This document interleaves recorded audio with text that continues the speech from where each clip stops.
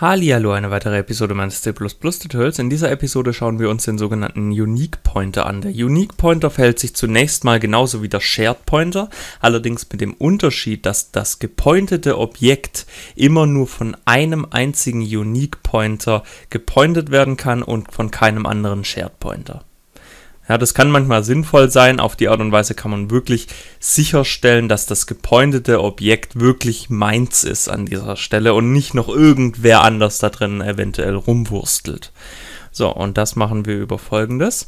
Ähm, std unique pointer ähm, von a, zum Beispiel wieder a, ist new a. Und zwar von Hugo wieder. So, und jetzt können wir hier eben nicht mehr sowas machen, zum Beispiel std unique, unique pointer von a, b ist A.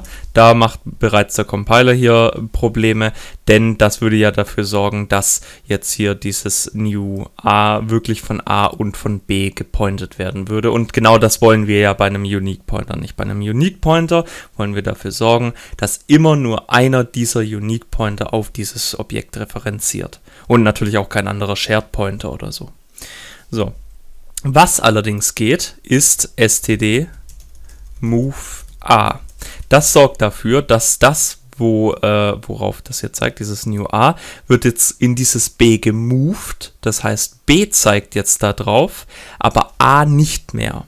Also sozusagen die Referenz von A, die wird dann einfach zum Null-Pointer an der Stelle, ähm, sobald wir das hier eben rüber gemoved haben. Und auch dann haben wir immer noch keinen Bruch von diesem Unique-Pointer, denn es ist jetzt natürlich wieder der Fall, dass wieder nur ein Unique-Pointer drauf zeigt, nämlich in diesem Fall unser B. So, und hier können wir natürlich auch Zeug machen. B, do stuff. Auch das funktioniert ganz normal. So. Und hier haben wir wieder den Hallo Hugo. Ähm, A, do stuff dürften wir an der Stelle natürlich nicht machen. Da kriegen wir dann natürlich wieder eine Null Pointer Exception, denn A ist ja ab hier dann tatsächlich der Null Pointer. Hier muss man allerdings jetzt noch auf eine Kleinigkeit achten. Ähm, ja, denn man kann hier auch noch das Ganze ad absurdum irgendwie führen, indem man zum Beispiel hier macht ähm, A Stern, neues A, neues A ist gleich New A von Peter. So, und wenn wir jetzt dieses neues A hier reingeben würden, dann ähm, würde das ganze Programm zwar immer noch funktionieren, also wenn ich es jetzt ausführe, dann funktioniert es immer noch. Das Problem ist allerdings natürlich an dieser Stelle, dass wir jetzt plötzlich einen normalen Pointer haben, der ebenfalls auf das gleiche Objekt, Objekt hier an der Stelle referenziert. Das wollen wir natürlich nicht. Das würde, ja, wie gesagt, das ganze Ding ad absurdum führen.